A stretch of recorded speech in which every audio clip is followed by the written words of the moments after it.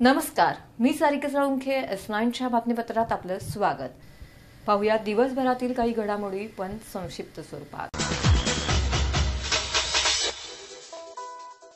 Plant and animal welfare society Mumbai आणि Amma care फाउंडेशनचे स्वयंसेवक निशा कुंजू हसमुख वळूस आणि हितेश यादव यांनी मुंबई महालक्ष्मी पेदर रोड भांडूप आणि ठाणे लोकमान्य नगर चार येथून चार परदेशी चातक पक्षी उष्माघातामुळे नागरिक वस्तीमध्ये सापडले होते. याची माहिती जागरूक नागरिकांनी पॉज मुंबई एस सी एफ मदत क्रमांकावरती दिली.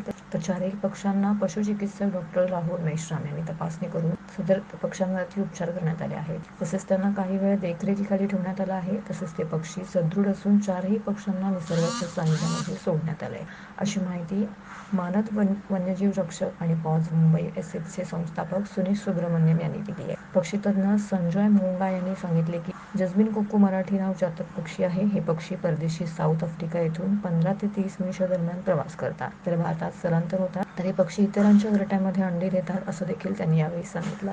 तर नागरिकांना असं कुठलंही कृत्य होताना आढळल्यास त्यांनी पॉज मुंबई एसीएफ हेल्पलाईन क्रमांकावरती संपर्क साधावा, असं आवाहन देखील त्यांनी केलं आहे.